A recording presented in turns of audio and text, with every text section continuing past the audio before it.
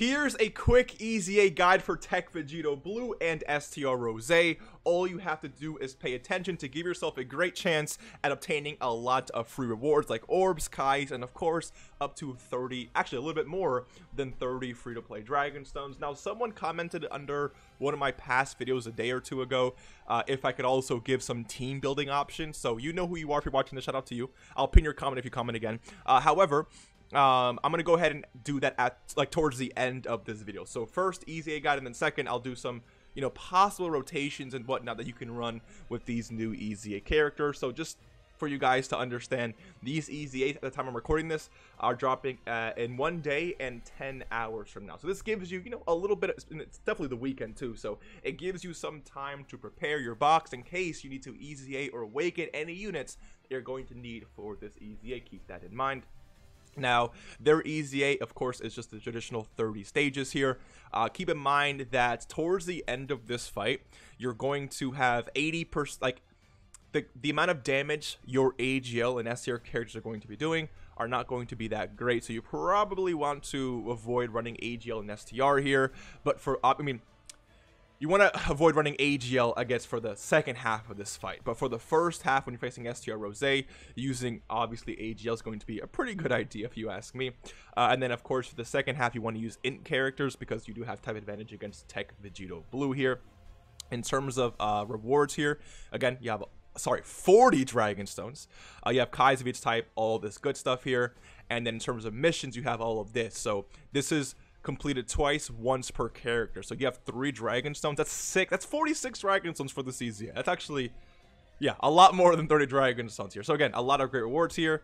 Uh, but this EZA is actually weak to the Future Saga category. Here is what this category actually looks like. Here are your leaders. So if you pulled Goku Black, I mean, you might be able to get away with running him. If you pulled Vegeta and Trunks, you might have they're definitely the unit you want to run here. Maybe even um future Gohan here, because future Gohan, um again, he might be he, he might struggle against you know stage 15 of STR Rose, but after that he should be okay because EZAs don't really hit too hard you know, around stage 15, and his damage reduction I think should definitely carry.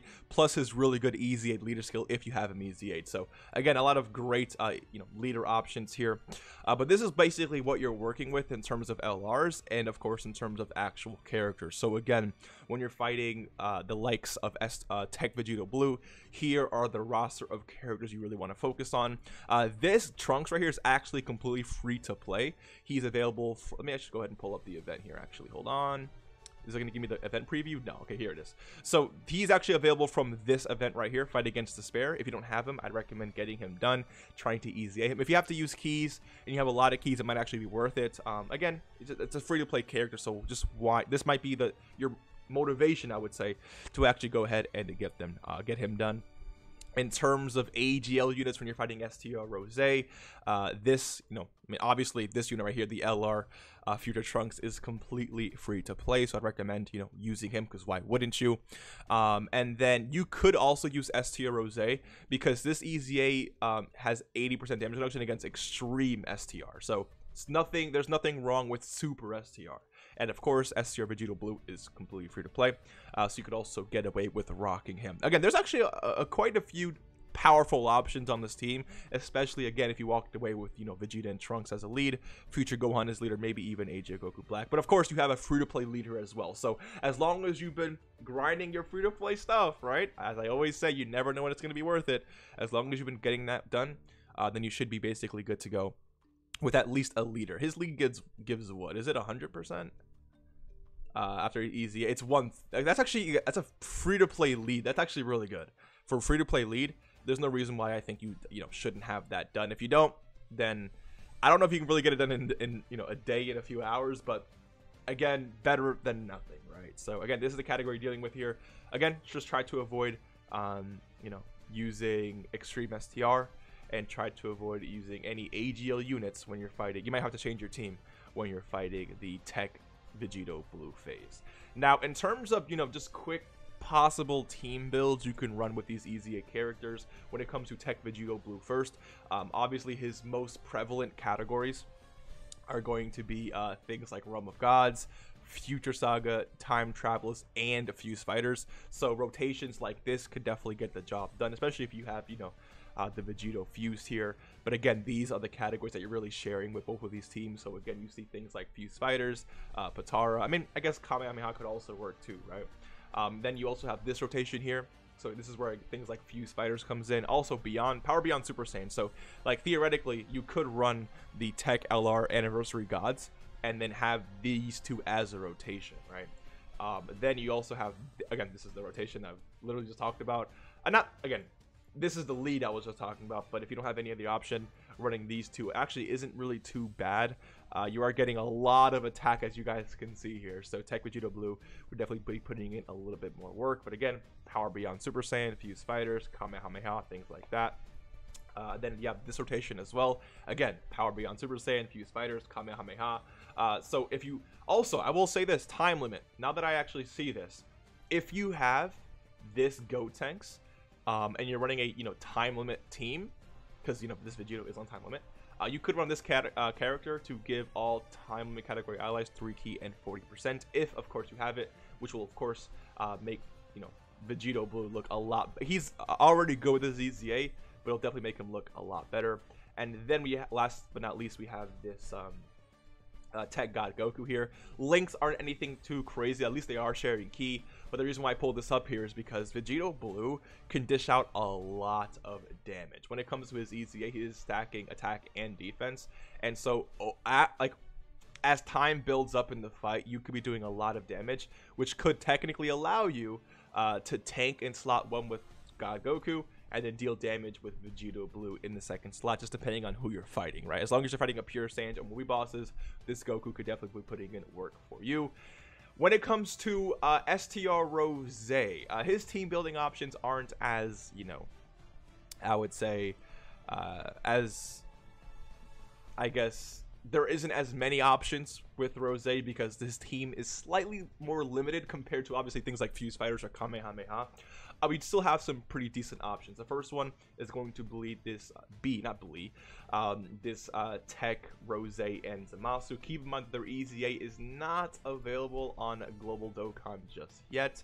But when it will become available, you can definitely run this rotation here. It's a very, very, very strong rotation, especially when you consider the fact that STR Rose is supporting with 3 key and uh, hun- not 100, sorry, 3 key and 50% to attack and defense, which is a great point. Realm of Gods, okay? You want to make sure you're running this character on a Realm of Gods team because if you are, you're giving all allies an extra 50% to attack. So in, t- in total, it's 3 key and 50% to attack and defense. If not, if you're not running any Realm of God category allies, I mean, which is pretty rare for this team anyways. You're just going to be giving the 3 key and 50% to defense. But anyways, you have this as one rotation. Look at six. Look at this six. Look at this. Six links. Imagine running. This is a very powerful rotation here, especially when this character gets his EZA. Another another possible option here is going to be this rotation here. Again, Merged Zamasu isn't obviously available yet, but when they when he does become available, and if you summon and if you pull him, you can definitely run this rotation. I'm not trying to get you to summon. I already uploaded a video on whether you should summon or not. That's that's actually not true. I uploaded a video on when he should be releasing. The the whether you should summon or not is dropping a little bit later, so stay tuned for that. But again, this is a possible rotation that you want to probably keep in mind, um, just in case you're deciding on summoning or not. And then, of course, we have this rotation here. Not the greatest rotation of all time, obviously, but six links are being shared, and things like big bad bosses are going to make a difference in both of their attacking defensive stats. Also, keep in mind that is Go Goku. Oh, let me see here. Yeah, so we do have Realm of Gods here. So what's actually happening here is this Rose is giving this Goku Black 3 key and 50% to attack and defense.